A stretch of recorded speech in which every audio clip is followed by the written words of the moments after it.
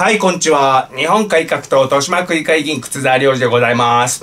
夏美様、T 中様、竜斗様、正美様、大和恵子様、ご支援ありがとうございました。何度も何度もご支援いただいている方もおいらしてですね、非常に恐縮であります。えー、ありがたく頂戴して、政治活動資金にさせていただきたいと思います。日本改革党メール党員大募集日本改革党東京地区支部長大募集動画説明欄もっと見るをクリックしていただくか、または靴沢ツイッターからご応募よろしくお願いいたします。えー昨日のですね、あのー NHK でも渋谷をテレビ全然取材に来なかった君が代を歌わないなんていうジジババの集会はたとえ5人でも全国放送すんのにね、えーつぶやいたところいいねが2万以上もらいました、えーということは20万人ぐらいそれ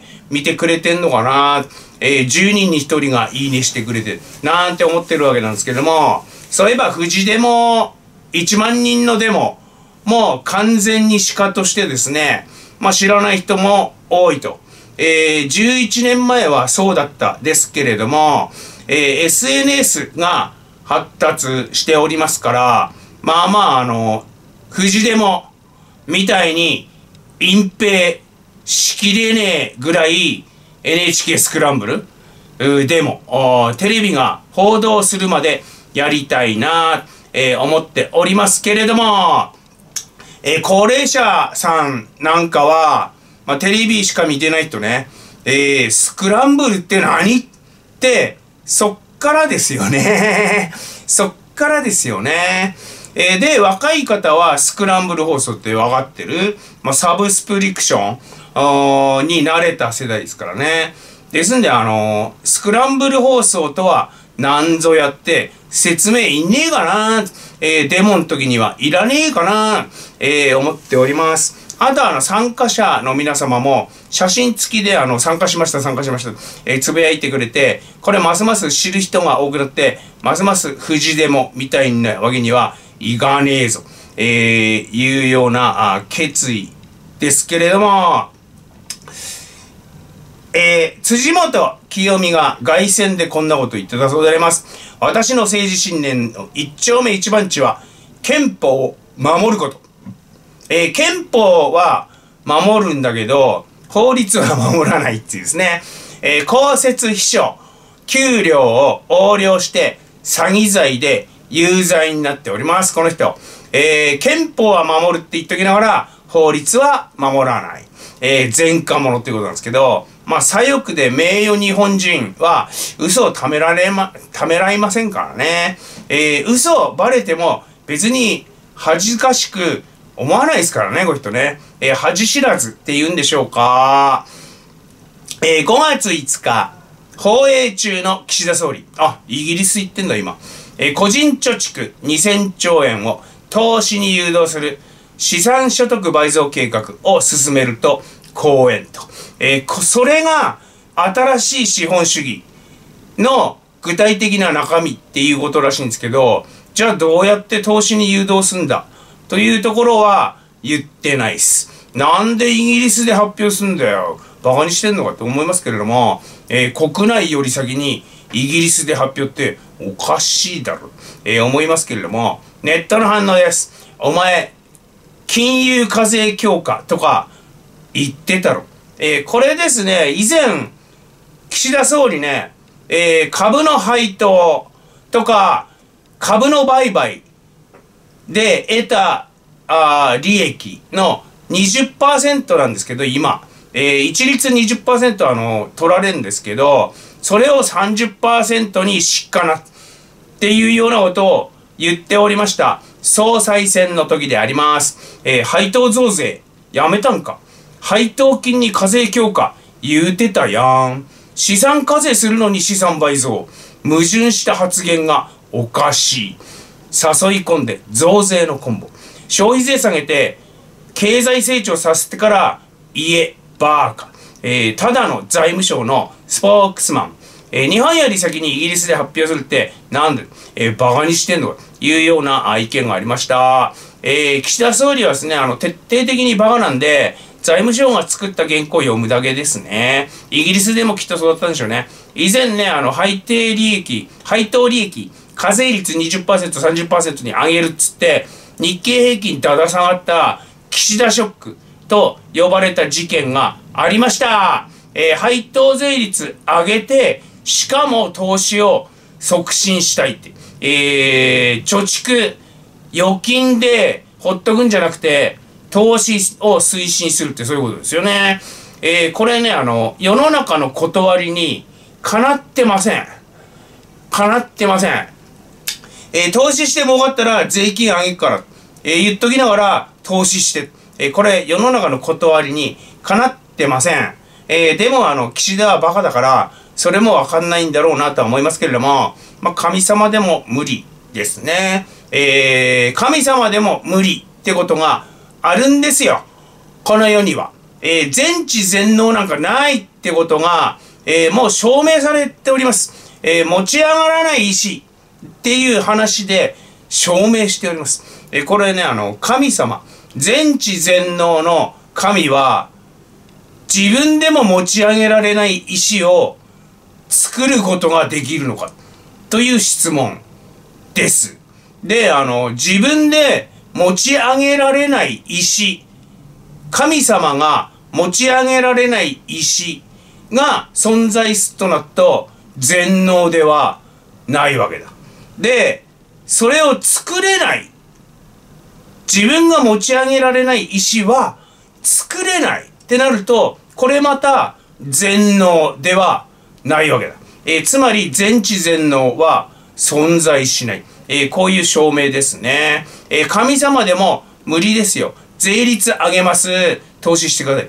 貯蓄を投資に変えるのは、まあ実は簡単な話で、配当課税の20%下げればいいんですね。18%、15%、10%、5%、えー、下げればいいですね。えー、そうすると、あの、皆さん、ああ、あの、お得だわ。えー、株で儲かって税金その取られないわっていうことで、えー、投資が促進される。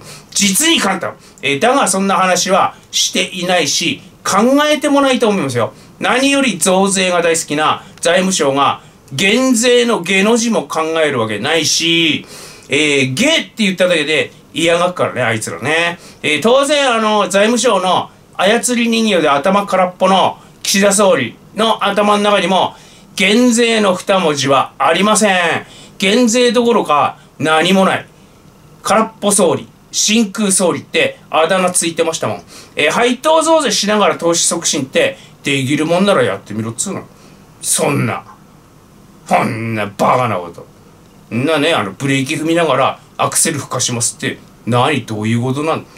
バカの言うにも程があるわって感じなんですけどね。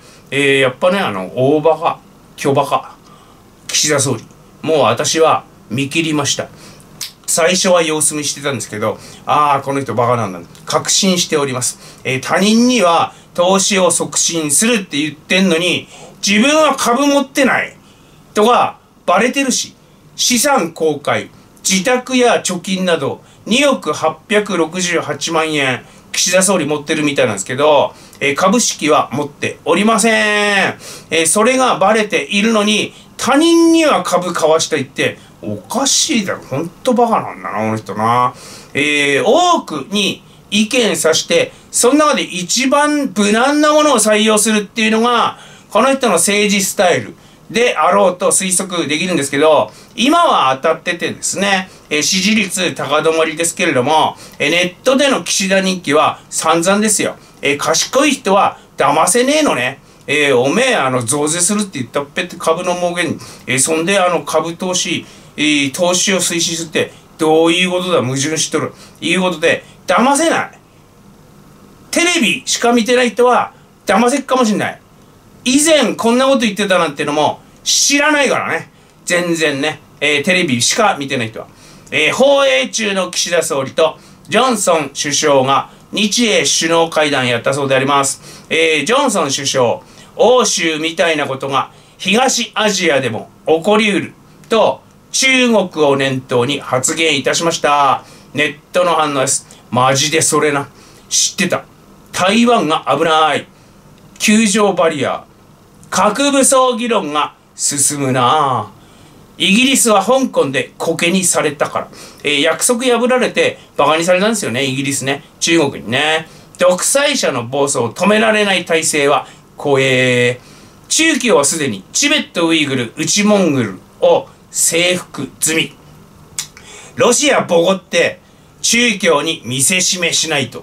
えー、日本は欧米と組んどけば間違いない。えー、まあ、あの、絶対間違いはないとも思えないですけど、まあまあ、あの、民主主義国家で、それなりに約束守る国家、えー、ロシアみてえな、条約破りが常習犯の中国みてえな、全然わかん、わけわかんねえことを、口走るような頭悪いってことを仲良くしてる場合じゃないですね。えー、送りうるっつうか、中共は、台湾や沖縄に侵攻する気満々で埋め立て基地作ってたんでしょあそこら辺の海域に睨み利かすためにね。えー、そんで、それの木を伺っていたら、ロシアが暴発して、世界にフルボッコの目に遭ってるんで、今は様子見してるだけなんですよ。侵攻を、侵略を思いとどまってる。今は様子見。えー、これでロシアがですね、当初の甘い甘い自分に都合のいい勝手な勝手な、えー、ウクライナは3日で征服する制圧するなんていうのが成功してたらね、えー、中国共産党は「ゆうきりんりんるりの色」ですぐ始めてたはずなんです。えー、まあこんな曲若い人は知らないとは思いますけれどもまあおっさんおばさんですわね。帝国の利益は国益はロシアが再起不能なぐらいフルボッコになることである。できたら分裂して小さい国に分かれてもらった方がいいぐらい。シベリア国とかサハリン国とか、あのー、中央アジア国とか、あ偽ヨーロッパとかね。あの、ヨーロッパに近い方ね。えー、中共をビビらせる間接的な効果がありますね。ロシアがフルボッコになったね。えー、あとね、あの、戦勝に調子こいたロシアが北海道に侵攻してくる可能性もありますから、直接的な国益もありますね。ロシアのフルボッコにはね、日本には。えー、だってあの、北海道は我が国領土とか、政府が公言してんだから、油断ならねえったら、ありゃしねえもんね。大事なのは、あの、侵略を開始されない抑止力ですよ。